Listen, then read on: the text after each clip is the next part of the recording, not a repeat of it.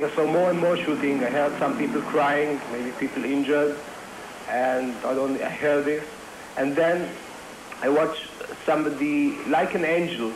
I really think it's like an angel. Somebody jumping into the our our room like this. And he looked up, something like this, and it was really something an angel. And he uh, came down, took a uh, loudspeaker in his hand, and started to talk in Hebrew and say, "You everybody, don't move and lie on the ground on the floor."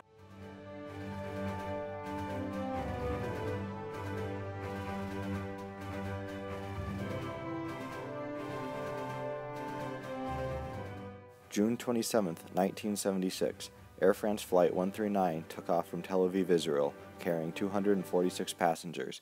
It was headed towards Paris, France. The plane stopped in Athens, Greece for a scheduled landing to board more passengers. Four of these passengers did not plan on arriving in Paris. Two were members of the Popular Front for the Liberation of Palestine. The other two, Wilfried Bose and Brigitte Kuhlmann, were members of a German terrorist cell.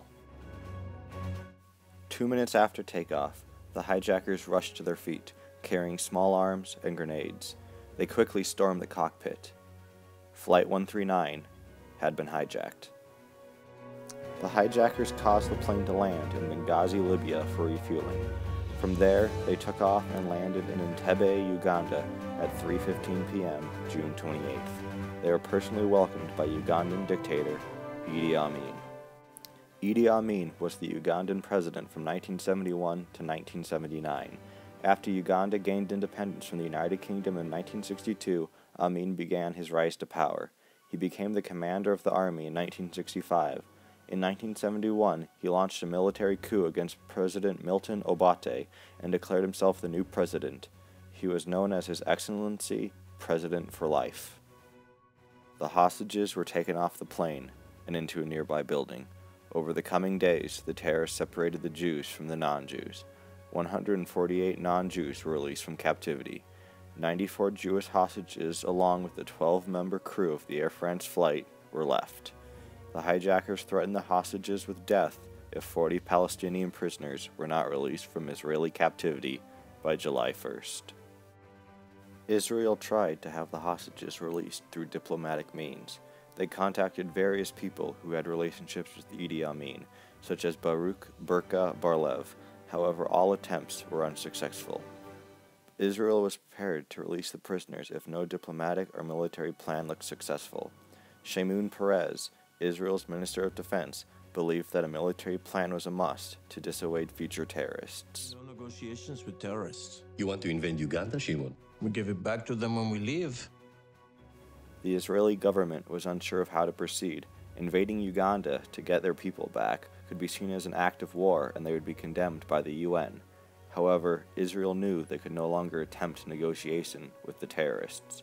They would meet force with force, but they needed time. They asked the terrorists for an extension to the deadline. The terrorists agreed and extended the deadline to July 4th. They began to plan a raid to free the hostages. Their plan consisted of dropping commandos into Lake Victoria and proceed to the airfield from there. The plan fell apart when it was discovered that the lake was full of crocodiles. The Israelis also faced another problem.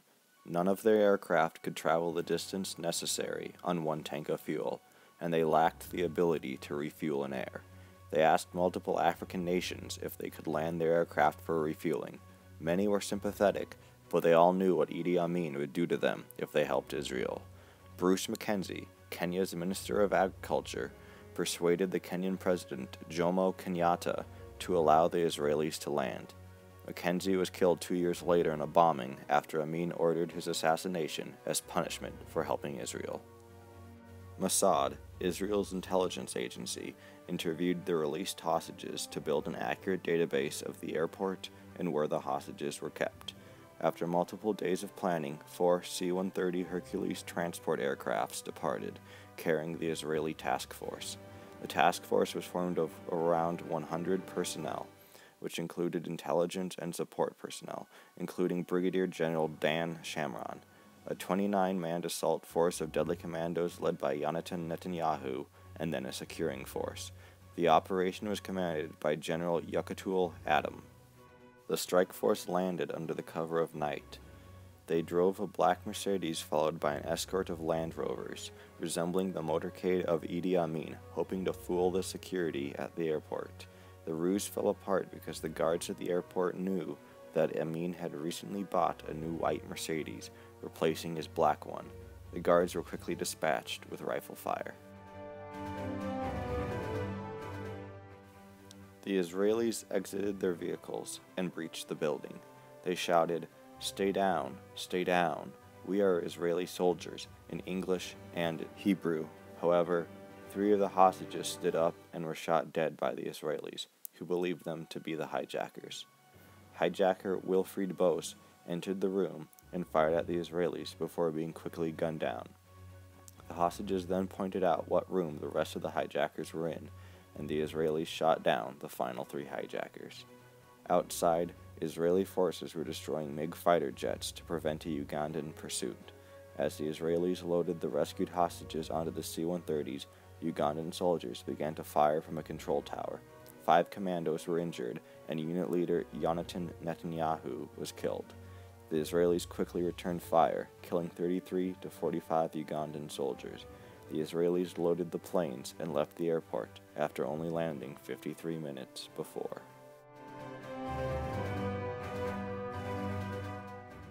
Out of 106 hostages, 102 were brought home. Three hostages had been killed. Dora Bloch was left in Uganda because she was in Kampala, Uganda at a hospital after choking on a chicken bone. After the Israeli raid, Idi Amin had her executed. All of the terrorists had been killed, along with 30 to 45 Ugandan soldiers. The mission had been a success. In the aftermath of the raid, the United Nations condemned Israel saying the raid was a serious violation of the sovereignty of a member state of the United Nations. Meanwhile, Western nations like the United States and the United Kingdom praised Israel and saying the raid was an act of self defense and a necessity. Israel had been faced with a conflict, and they decided that the best compromise was no compromise at all.